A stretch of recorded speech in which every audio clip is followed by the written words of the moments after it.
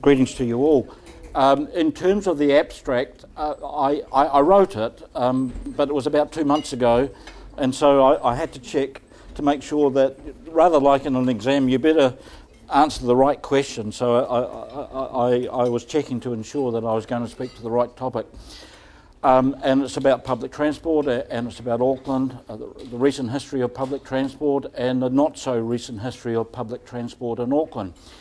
Um, we are going through a, a, time of significant change, transition in Auckland that has a quantitative aspect and a qualitative aspect. Um, a lot of that change um, can be seen in terms of improvements to public transport and also the way that we um, promote and capitalise on Auckland's remarkable harbour and waterfront. Um, these, this period of change relates uh, very much to, but not entirely to, uh, the local government, the major local government changes, historic changes, uh, profound um, and major uh, changes to local government. Uh, and they also uh, do relate to the Rugby World Cup. Um, the Rugby World Cup has been a, a, a, major influence on focusing Auckland to make improvements to the city's facilities and amenity. And I, I guess it's rather like, um, you know, a guest coming. Uh, the mother in law, the proverbial mother in law, for instance, is coming around to the house.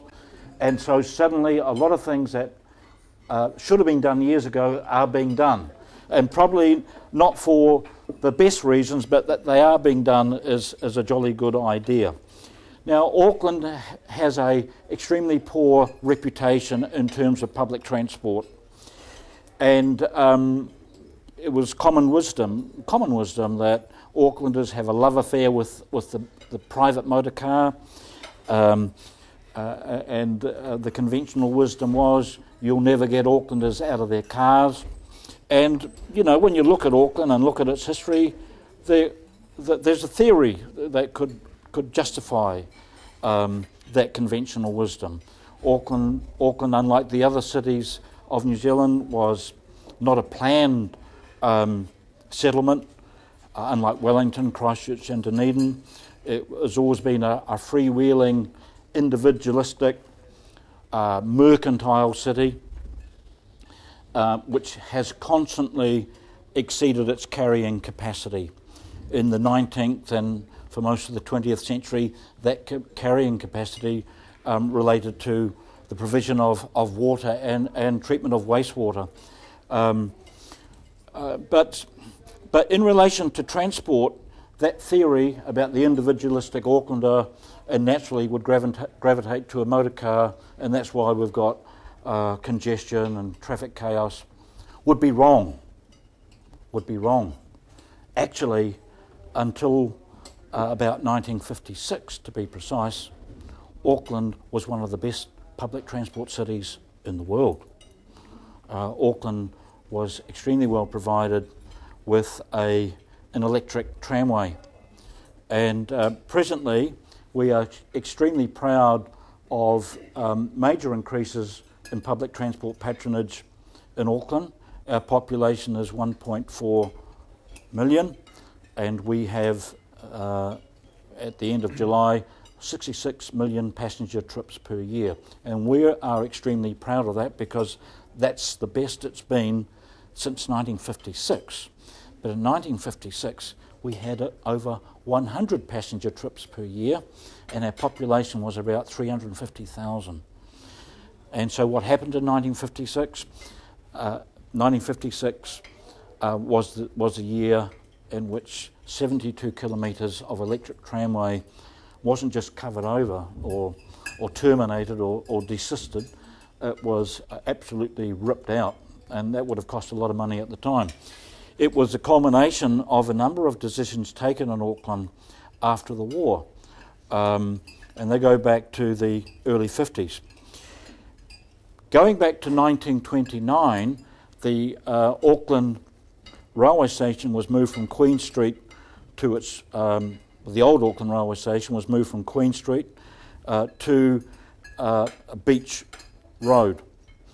Um, now, there's been some criticism of that step by the city fathers of 1929, but no, it was a, a, a, coherent, sensible decision because it was based on a, an underground rail link, um, which never happened. Um, it was planned for, it was discussed in the 1920s. Um, the war came, of course, the, the Depression and then the war. And of course, we need to realise that New Zealand made an enormous effort in World War II, both in the field in North Africa and at, on the home front. And the economic um, productivity during that time was quite remarkable. New Zealand was a, uh, a net donor both to the United Kingdom and to the United States. Um, but that all meant that certain city infrastructure was not proceeded with. Um, and so New Zealand has just made, made a considerable sacrifice. But coming back to the uh, rail system, uh, the Ministry of Works started work on plans after the war for an, to continue that underground rail link.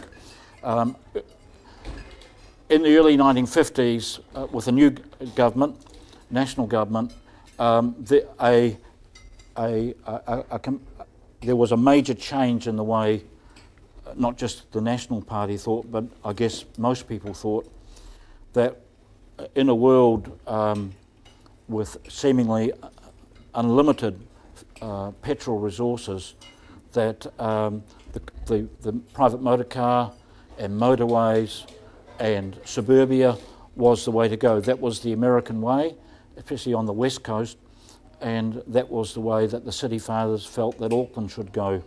And so um, Auckland became an extreme case. Uh, first of all, the, the city council and the government agreed to, to ditch the underground rail link um, and electrification. Um, Wellington had electrified at that time, Melbourne had electrified in the 1920s, but in Auckland they decided, forget all about that. Um, let's go for motorways, and of course, uh, we won't forget about public transport. You can put buses on the motorway, so you can kill two birds with one stone. Forget about rail, um, and, and, and that's what exactly what they did. Of course, not many other cities went totally for motorways. All cities went for motorways but not many were foolish enough to ditch their rail um, system and their tramways in, in place of motorways. They had both options.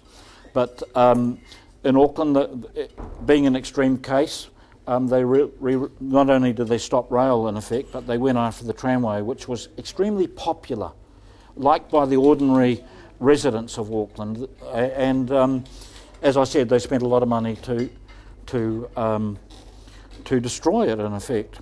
So what happened? The rail, the public transport patronage, um, even though trams were to be replaced by buses, collapsed imme- immediately. Immediately. So from 100 uh, million passengers per year, we went down to about 58. We've only gone past that in the last couple of years, 58 million per year. Um, it soon became apparent, very, very soon, by the early 60s to mid 60s, that this was not a good decision. And Dove-Myer Robinson, um, of course, came up with a proposal. The ARA, New Zealand Rail, um, worked on it, but it was Robbie that fronted it, and it was for uh, a return to the, the underground rail um, original plans from, from the station at, at Beach Road um, a station down where Britomart is now, I, I, guess, and linking up with the Western Line. Um, uh, unfortunately, um, even though it, it received uh, approval at the highest level, uh, it wasn't proceeded with either.